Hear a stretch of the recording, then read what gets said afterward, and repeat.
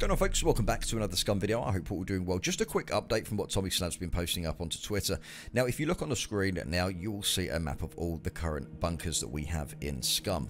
Now this, these aren't just the only places you can get loot. If you check this other map out that I've created here you can see all the circles around every place that you can get military loot. And guess what guys? There is more. There are so many places you can actually get loot uh, in Scum right now. It's insane. And I'm guessing there's more POIs to come as well. Now if we go back to the actual map of just the bunkers that I've circled here, some of these are going to be active bunkers and some of these are going to be abandoned bunkers.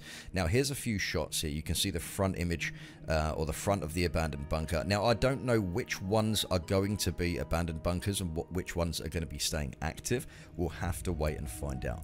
Now here's a, another couple of images um, of the uh, the bunker itself and the outside of the bunker. This is just obviously one that they've done. Uh, I'm not sure if they're going to be putting them all in at the same time, but these are uh, some of the images from the abandoned bunker we currently have. Now, here's another image right now um, of the actual tank or case, capsule, whatever you want to call it, which is what Tommy's been showing that Mr. Brenner is going to be in, and as far as I'm aware, only within the um, abandoned bunkers as well. Now, moving on to the LMG, so we have the M249 SAW LMG, generally 556, obviously within Scum, they have changed some of the rounds. This could easily be 762, but I'm guessing and hoping it's going to be 556 for those uh, who need that suppression and stuff like that as well.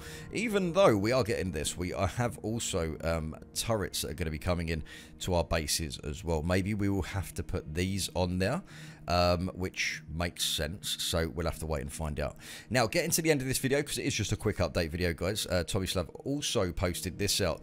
What are your thoughts on this? What are your thoughts on where do you think this one's going to go? Because I've been showing this on the stream, and I've had uh, interesting feedback on this. So you can see a little video here of uh, the weapons, obviously with the with the new skins, and uh, you can see a keychain hanging off as well. So, um, I have my opinions, and I'm going to keep them to myself.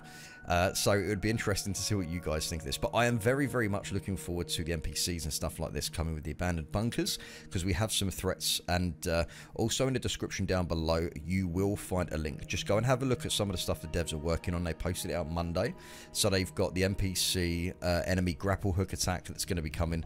Uh, they're working on the abandoned city atlas. And also the pickup trucks are, are being put into the modular status. So they're going to be having, uh, or we're going to be having the modular vehicle for uh, for the pickup truck uh, coming very, very soon too. Now, like I said, it's a very quick video. Now, uh, I just want to say a massive thank you to everyone for your ongoing support on the channel. You guys are truly phenomenal uh, who smashed the like, hit the subscribe, comment, and all that stuff as well. And just like taking the knowledge and information that I've been putting out over tutorials and stuff like this.